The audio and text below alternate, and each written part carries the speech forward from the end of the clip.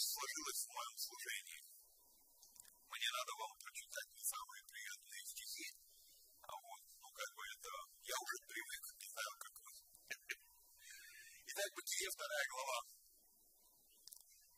четвертый стих. Вот происхождение неба и земли при сотворении их. В то время, когда Господь Бог создал землю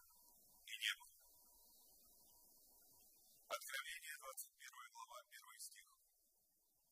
И увидел я новое небо и новую землю, ибо прежнее небо и прежняя земля миновали, и моря уже нет. И я, Иоанн, увидел святый город Иерусалим, новый, сходящий от Бога с неба, приготовленный как невеста, украшенная для мужа своего. И услышал я громкий голос с неба, говорящий, вот, скиния Бога с человеками, и Он будет, Он, Бог, будет обитать с ними. Они будут Его народом, и сам Бог с ними будет Богом их.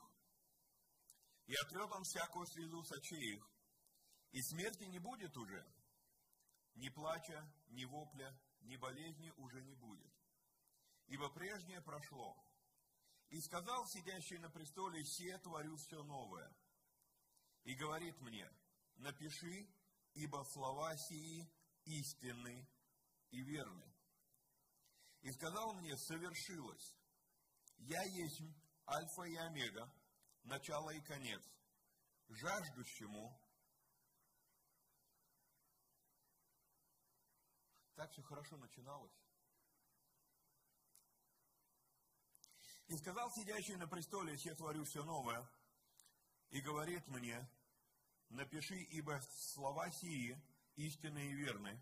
И сказал мне, свершилось, я есть альфа и омега, начало и конец. А покажите нам этот стих. Это у нас, если я не ошибаюсь, шестой или пятый, шестой стих. Откровение, 21 глава, 6 стих. Интересно, нам хотелось бы думать, что, ну, описание того, что мы сейчас прочитали, это, по сути дела, уже все, Новый Иерусалим. И в Новом Иерусалиме будут только классные люди. Только достойные люди. Все классно. Но тогда, я не знаю, обращали вы внимание или нет, но здесь не сказано, что каждому я дам даром от источника воды живой. Казалось бы, Новый Иерусалим, казалось бы, новое небо и новая земля, казалось бы, ну все, Слава тебе, Господи, ускреблись. Мы уже там. Не замечали иногда у верующих у нас такое, хоть бы как-нибудь любым образом, ну, скрестись вот в райочек, и я там расслабиться могу. А, ну, вы, кто не первый раз меня видит, вы привыкли уже к тому, что я, ну, кайф обламываю. А,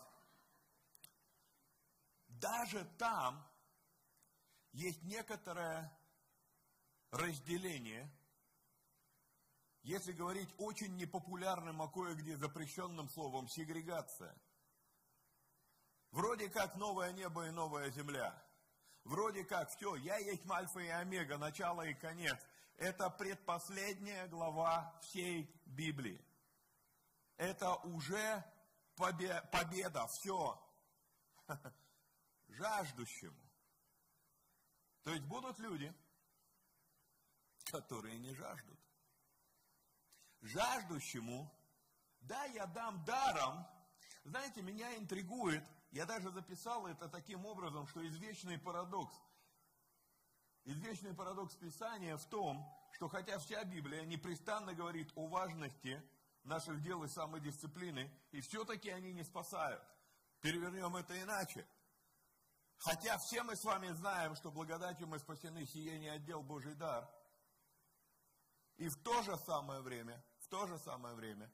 Но вот если ты не жаждешь, то ты и не напьешься. И интересное взаимодействие этих, этих двух вещей. Мне хотелось бы сегодня поразмышлять именно об этом. «И сказал сидящий на престоле, все творю все новое, и говорит мне, напиши, ибо слова сии истинные и верны. И сказал мне, совершилось, я есть Мальфа и Омега, начало и конец, жаждущему дам даром, от источника воды живой. Ладно, если бы на этом все закончилось. Следующий стих. Следующий, буквально следующий стих. Седьмой. Покажите нам его. Каждый наследует все. Или нет? То есть мне там придется еще и побеждать? Побеждающий наследует все, и заметьте, в будущем времени, и буду ему Богом, и он будет мне Богом. А, как Екатерина написала в объявлении про то, что я сегодня буду здесь, у нас есть традиция. Ну, она была в октябре, сейчас в ноябре. Но так интересно, что традиционно получается, что когда я приезжаю, это некий такой, как бы, знаете, для вас это мой, мой визит, а для меня это так это, подведем итоги года моего. И оглядываясь назад на этот год, я вижу, что я выношу из этого года две мысли. Мысль номер один. Вера – это про послушание. Еще раз. Вера – это про послушание. Апостол Иаков говорит нам, и поверил Авраам Богу, и это вменилось ему в праведность. Да, каким образом он поверил? Возложил сына своего на алтарь. Это послушание. Послушание, когда ты не понимаешь, что Бог делает. Послушание, когда ты не, ну, ну реально, ну как это так? Я, я, я 25 лет, ну, 25 лет это как бы от момента, сколько мы знаем Авраама, да, то есть мы знакомимся с ним, ему 75, ему 100 лет, у него рождается сын, потом 17 лет, ну, плюс-минус, мы не знаем точно, но где-то порядка 17 лет было Исааку, когда было это возношение на жертвенник. То есть вот эти все годы, вроде казалось бы, он ждал, но я думаю, что как муж, как желающий быть отцом человек, он, наверное, всю жизнь ждал себе сына. И вот ему уже получается 117 лет, и Бог ему говорит, я дам тебе все, или я заберу у тебя все.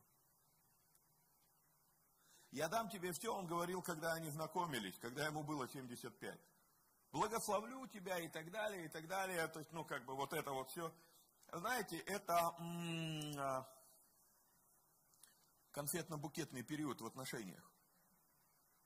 Я дам тебе все. Люблю, люблю, трамвай куплю, луну достану с неба. Но где-то в ваших отношениях наступает момент ответственности, момент серьезности в этих отношениях. И Господь говорит, на, пойди на ту гору, и знаете, интересно, когда мы читаем эту историю, мы не будем сейчас туда обращаться, у меня еще два огромных отрывка из книги Исаи. Но когда мы вспоминаем эту историю, иногда, иногда из-за того, что мы просто читаем, а не проживаем эти события, то у нас создается впечатление, что как бы, ну, Авраам-то, он-то знал, что все будет хорошо – он-то изначально знал, что Господь предусмотрит агнца, вернее, овна, вернее, барана, ну, понятным нам языком, да, в кустах. Вот. Но надо вспомнить, что Бог сказал Аврааму в самом вот этом начале этой истории. Иди, вознеси сына своего на жертвенник. То есть Авраам все это время шел с этой мыслью, и мы с вами знаем, что в итоге Бог говорит, нет, не надо, все, я видел, я увидел, что ты. И что ангел говорит Аврааму? Ангел говорит Аврааму, знаю, теперь я знаю, что ты мне послушан. Вера – это про послушание.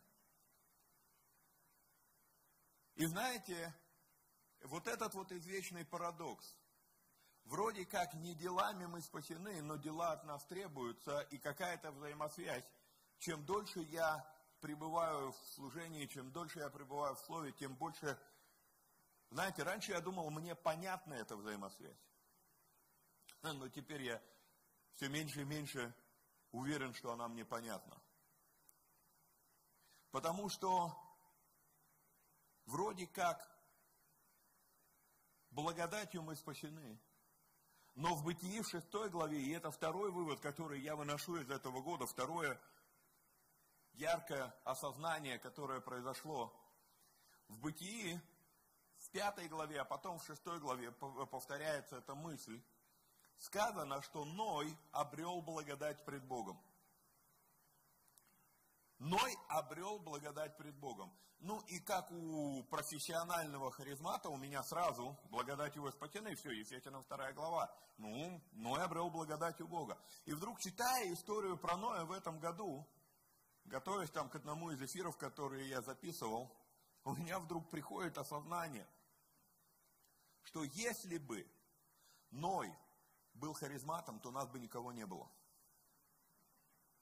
Почему? Потому что если благодатью мы спасены обозначает, что ничего не надо делать, то Ной не построил бы ковчег и утоп бы, как и все остальные. Вроде как благодать-то он обрел, но не все наследуют все, а побеждающий наследует все. И интересно, что если мы поговорим с вами дальше, и, может быть, не хотелось бы двигаться, вот, ну, Откровение 21 глава 7 стих, мы остановились на этом, побеждающий наследует все, и буду ему Богом, и он будет мне сыном. Какой классный стих, какие классные обетования. Но если я открою восьмой стих, то станет страшно. Потому что в восьмом стихе, ну подождите, ну это уже новое небо, новая земля, ну это уже новый Иерусалим, ну вы о чем вообще? И тут натыкаешься на восьмой стих. Можно восьмой увидеть? Я даже читать его, наверное, не хочу.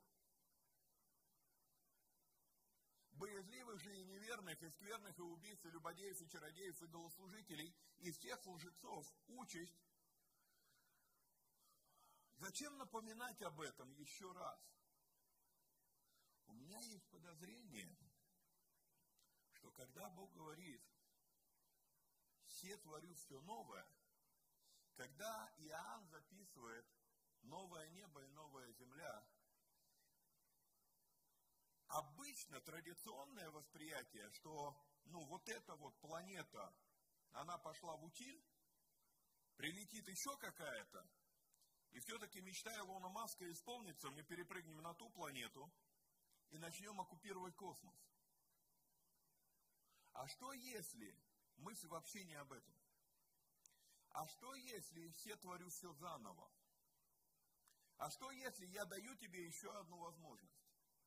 Потому что раньше я думал, раньше я воспринимал, что когда, когда здесь говорится Новый Иерусалим, то здесь говорится, что вот все, Дальше никаких проблем. Но когда я начинаю внимательно читать, я вижу, что по-прежнему есть сегрегация. Уже там, уже на новой земле, новое, земля, новое небо, новая земля.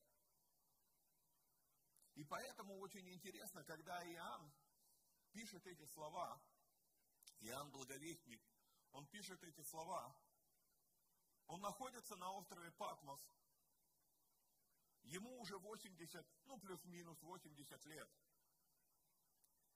Мы там не знаем точных вариантов, но по всем расчетам книга Откровения написана в 90-м году.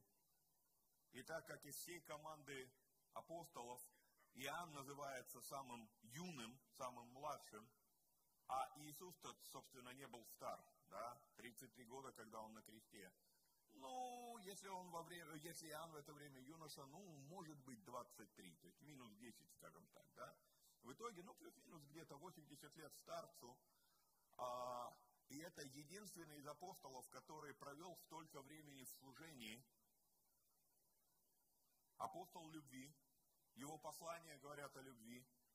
Здесь в этой книге Откровения, он много говорит о любви. Его Евангелие говорит о любви. Его называют апостолом любви. И вот он записывает, будучи в изгнании, проведя плюс-минус 60 лет служения. Вы можете себе представить? Нам, дай Бог, 60 лет прожить. Он 60 лет служения. И он получает откровение, и он записывает, и он говорит, я вижу новое небо и новую землю, я вижу новый Иерусалим, сходящий от Бога. И интересно, когда мы с вами читаем 21 главу, то здесь есть любопытный нюанс. Он говорит, вот скиния Бога с человеками, и Он будет обитать с ними, и они будут Его народом. То есть это, это место, он, он, он видит, вот наконец-то настало время взаимоотношений с Богом на том уровне, где сам Бог обитает с нами, и вот мы и есть эта скиния, все классно. И однако есть вот этот нюанс. Вот если ты жаждешь, ты, ты напьешься. Если ты победишь, то ты унаследуешь. И я хочу просто обратить ваше внимание на это, потому что это очень важная вещь. Я задаюсь вопросом, когда Бог говорит, все творю все новое, это Он будет творить? Или это ты будешь творить, потому что ты наделен Его силой? Просто пища для размышления. С момента появления на земле Адама я вижу, что Бог предпочел двигаться через человека. Большинство вещей, заметьте, большинство вещей обязательно требуют участия человека. Есть интереснейшие истории, там, ну, как бы самая такая всплывающая в голове, помните, когда была ситуация с Елисеем, с пророком, когда топор у человека утонул. И Елисей берет деревяшку, бросает ее в воду. И он бросил деревяшку, ну вот любопытный момент. Топор железный, он пошел на дно. Елисей берет деревяшку, бросает в воду. Она пошла на дно? Нет, она плавает на воде. Скорее всего, это был поток написано, да, то есть поток, значит, ее смыло. Топор всплыл. Зачем нужна была эта деревяшка? Какая связь вообще? Есть вещи, которые нам с вами кажутся глупыми. Но вера – это не про разум, вера – это про послушание. И когда Бог тебе говорит что-то делать, а, он, он, он, он ожидает, что ты будешь послушен, просто послушен. И знаете, любит ли Бог всех? Да, Бог любит всех, но вспомните своих детей. Вам как-то легче их любить, когда они послушны. Дело не в том, что я прекращаю любить ребенка. Дело в том, что мне легче любить ребенка, когда он послушан. И что, если вся история библейских взаимоотношений Бога с человеком, это история того, что образно Бог говорит, не мешайте мне любить вас. Дело не в том, что вы можете что-то заслужить передо мной, не можете. Ну просто не мешайте. У кого из вас в дома есть дети, и есть какие-то, может быть, даже и негласные, но есть какие-то правила поведения в доме? Есть такое? Есть, ну, есть что-то ожидаемое, правильно? И опять же, если ребенок не исполнит то, что ожидается в доме, вы не перестаете ребенка любить. Вы его по-прежнему любите. Но просто как-то неприятно, да? И это то, что я вижу в этой книге Откровения. Книга Откровения интересна. Еще раз, последняя книга, предпоследняя глава, и все равно есть вот это вот жаждущий, побеждающий.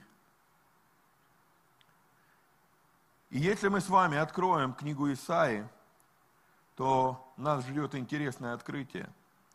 Книга Исаи –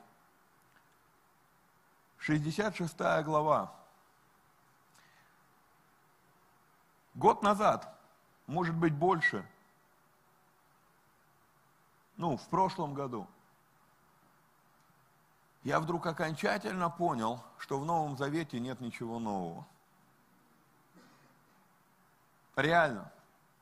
Абсолютно все, что есть в Новом Завете, встречается где-то в Ветхом.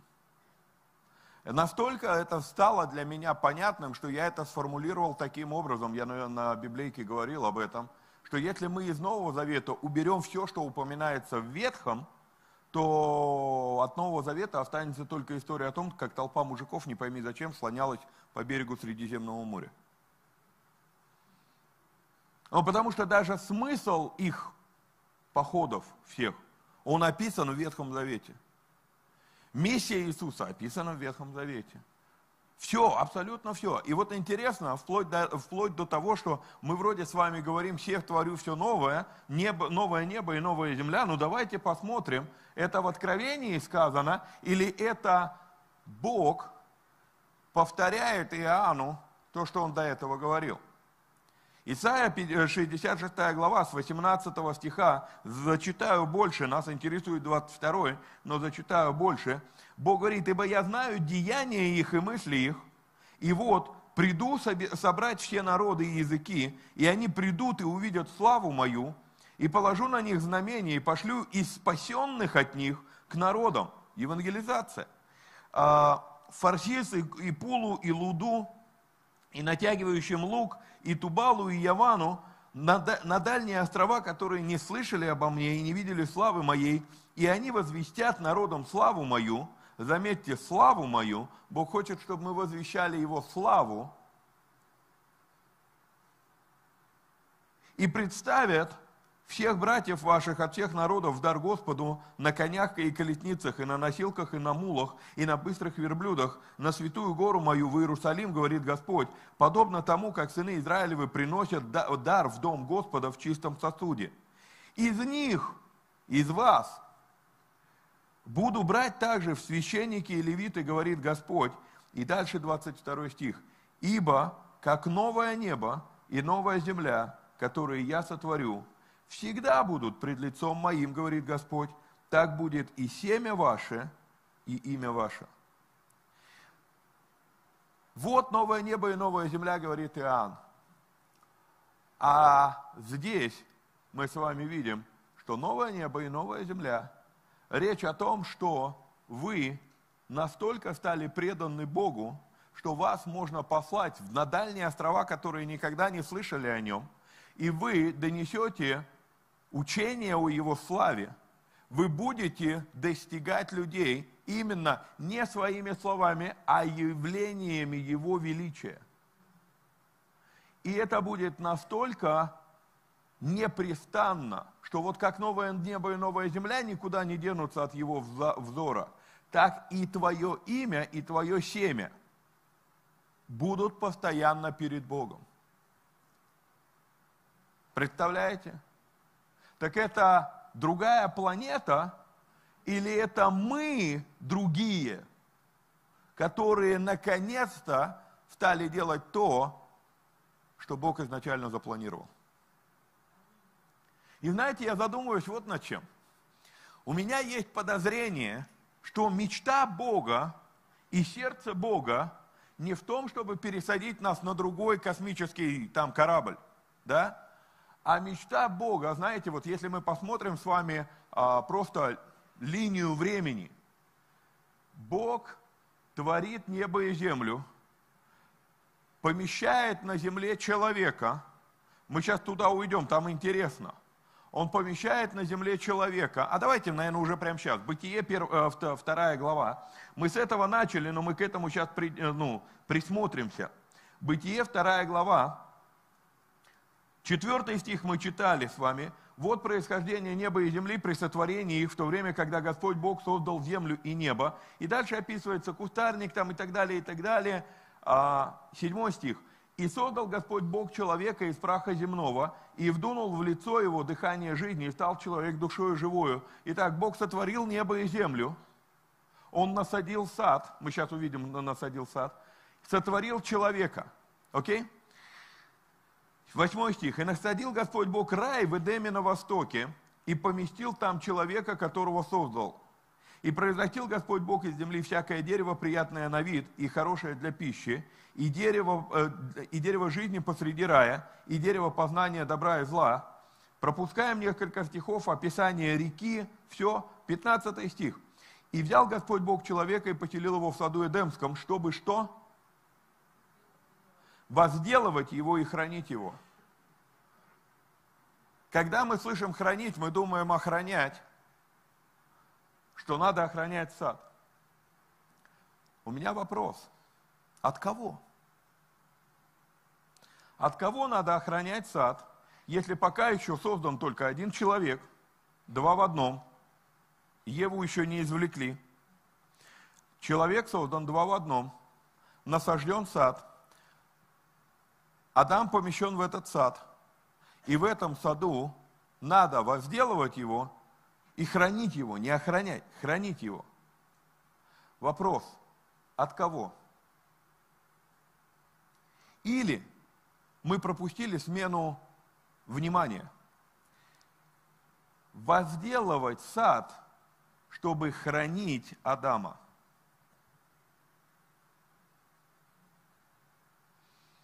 Задумайтесь над этим. Возделывать сад, чтобы хранить Адама.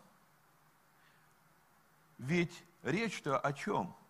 Вы когда-нибудь обращали внимание, а я не буду вас просить э, поднять руку, кто из вас временами грешит, изредка. Не буду. Я боюсь потеряться в этом лесу. Ну, если мы откровенны. Но дело вот в чем.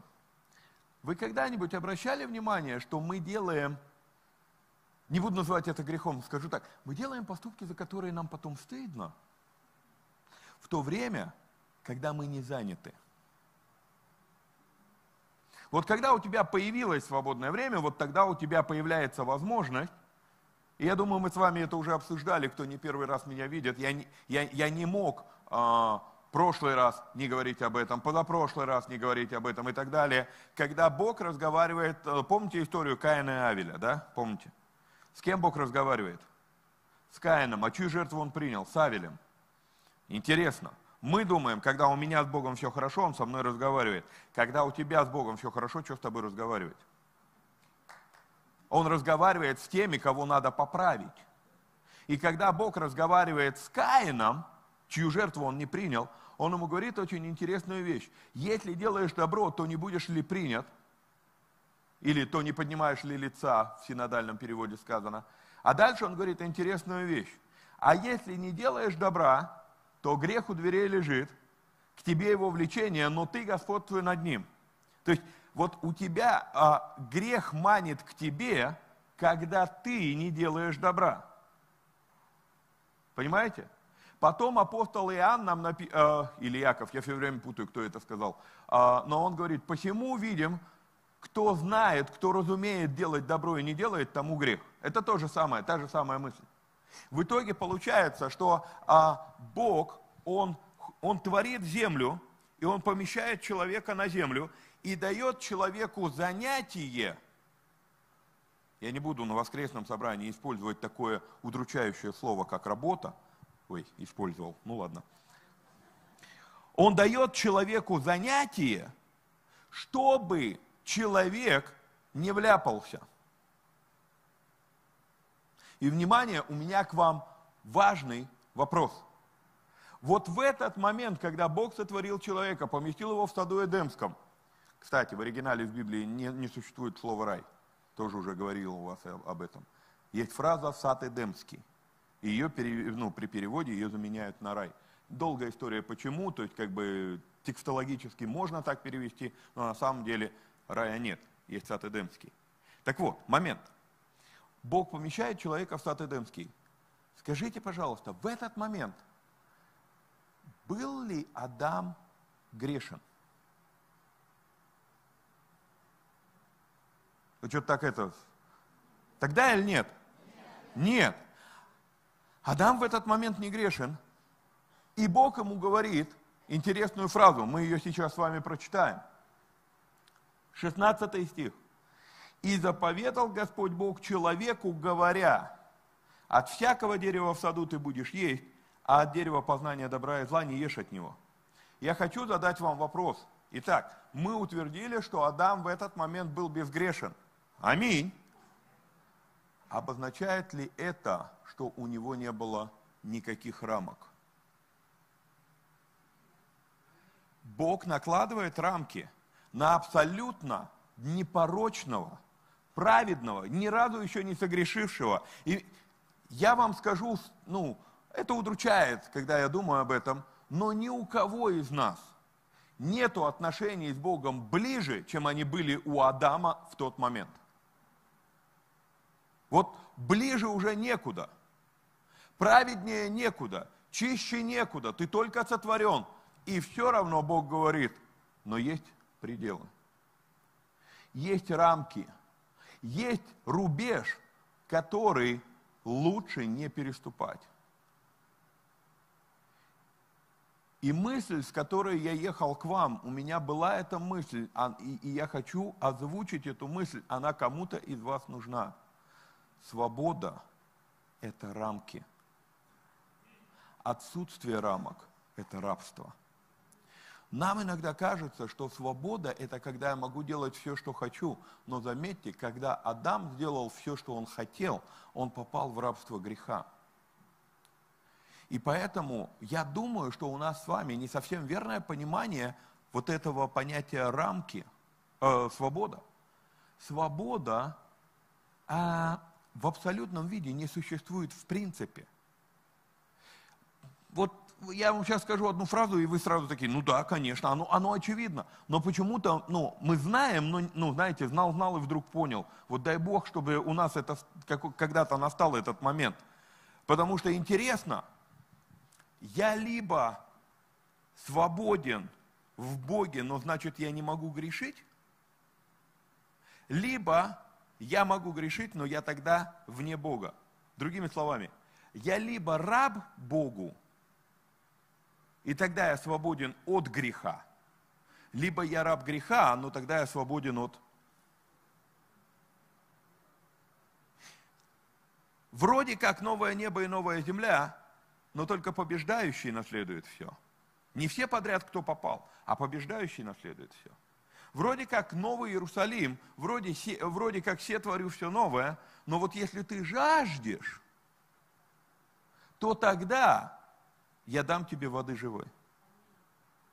Заметьте, что Бог, Он всегда откликается на твое отношение к Нему.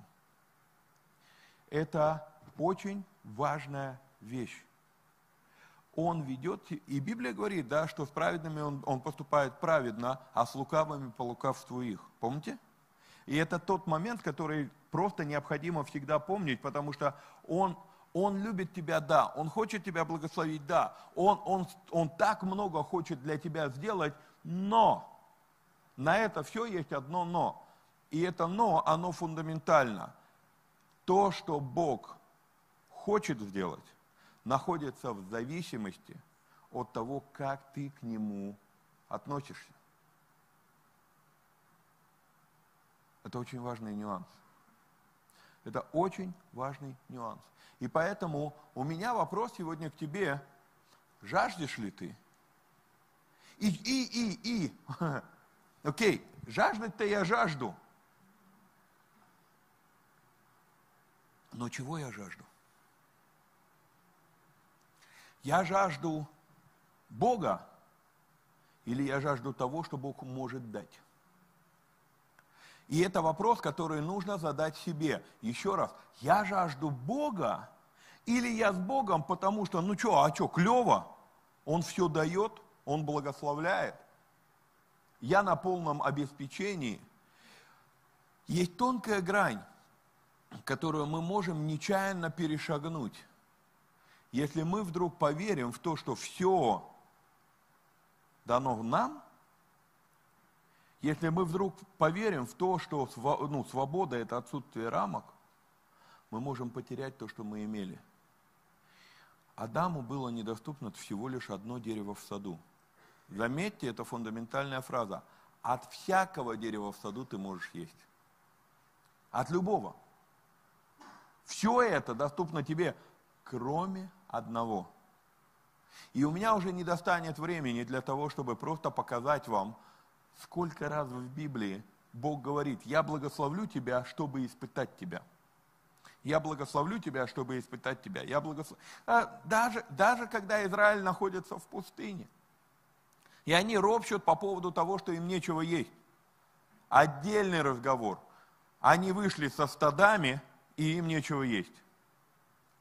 Даже, фун, даже ключевые, самые-самые именитые богословы иудаизма, они открытым текстом пишут комментарии на эту историю, что евреи просто допытывались до Бога безосновательно. У них было что есть, но они вопили, что им нечего есть. И интересно, Бог отвечает на эту историю, и Он говорит, я дам вам, а дождю вам манну с неба. Классно? Ну, хотелось бы манну, да, вот прям вот, ну, манна. Буквально следующий стих в этом же, это, буквально следующие же слова в этом же стихе. Чтобы испытать вас, будете ли вы тогда послушны мне. Еще раз, вера – это про послушание. И когда Бог творит все новое, когда Бог творит новое небо и новую землю, Бог сотворил небо и землю, Бытие 1.1. Ну, мы с вами читали из Бытия 2.4, ну, э, не страшно, то же, самое, то же самое. Бог сотворил небо и землю, Бог сотворил человека, Бог насадил сад, поместил человека в этот сад – это то, как Он хочет, чтобы все было в твоей жизни. Но ты решил пойти своей дорогой. И знаете, как выглядит вся библейская история? Ты решил пойти своей дорогой. Ты возвращаешься в эту точку, где ты взял от дерева познания. У тебя есть шанс теперь от него не брать. И если ты от него не берешь, история продолжится наконец-то. Она может не продолжиться, она может мы на библейке говорили, да, то есть ты можешь по этому кругу нарезать круги сколько угодно, вот пока тебе не надоест, или пока твое время не закончится. Два варианта. Если тебе раньше надоест, то ты двинешься дальше. Если тебе не надоест до конца, ну что, иногда, знаете, а, эти карусели-то они интригуют, вот, и ты сидишь на этих каруселях, и голова кружится, но тебе прикольно. Но и ты остаешься, и время кончается, и карусель останавливается. Никто не знает, когда время кончится, потому что мы не знаем, сколько времени нам отведено. Поэтому ободряю вас, выйдите с карусели. И когда ты выходишь с каруселей, новое небо и новая земля, и я боюсь, что это та же самая, то же самое небо, та же самая земля, просто момент в том, что ты теперь новый, ты теперь во Христе понял, что не все, что мой глаз видит, надо брать. И увидела Ева, что плод, что? Вожделен. Она захотела и забыла, что Бог говорил. Но еще раз, свобода – это рамки. Свобода – это рамки.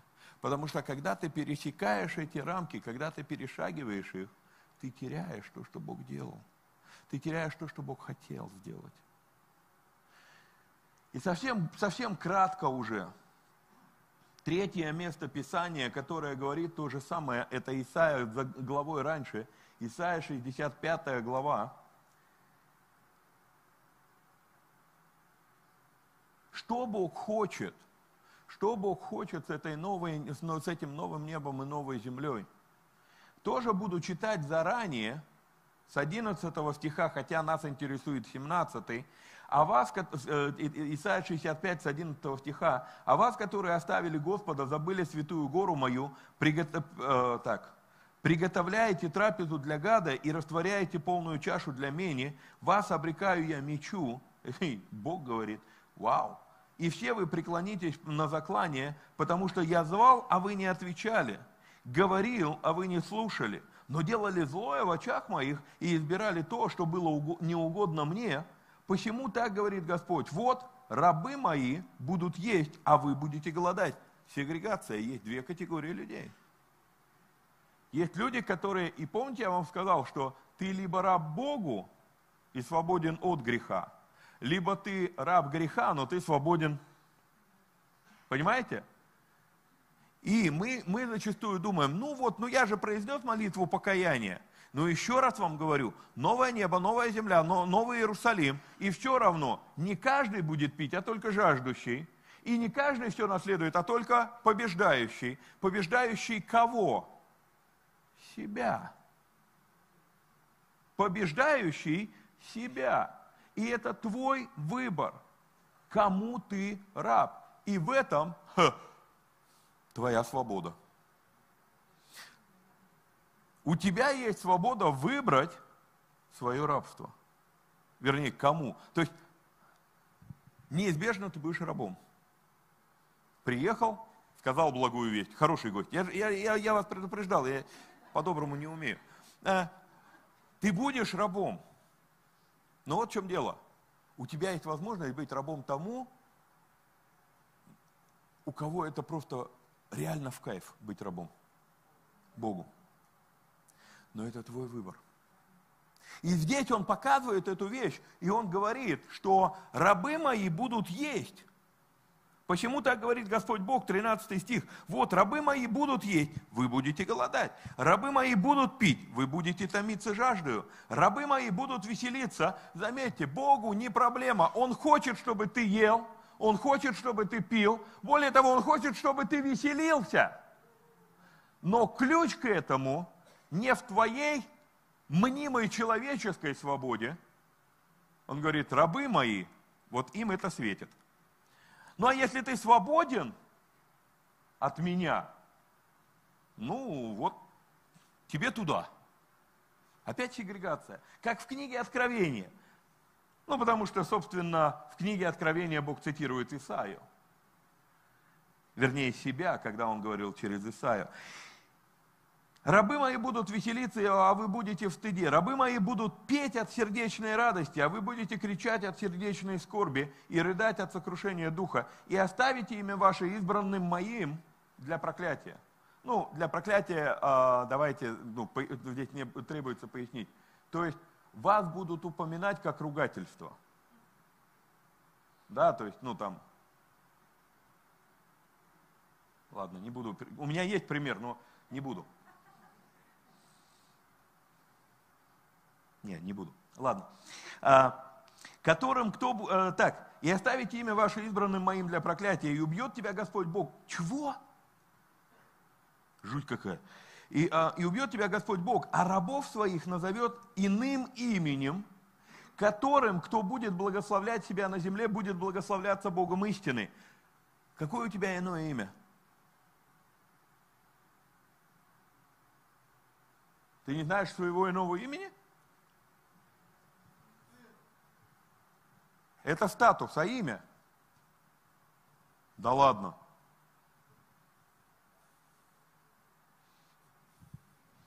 У меня три минуты на то, чтобы начать Евангелие с первого стиха и до конца.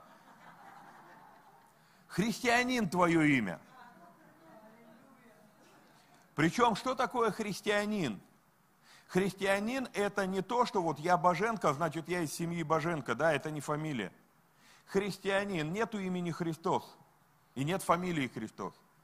Слово Христос переводится помазанник.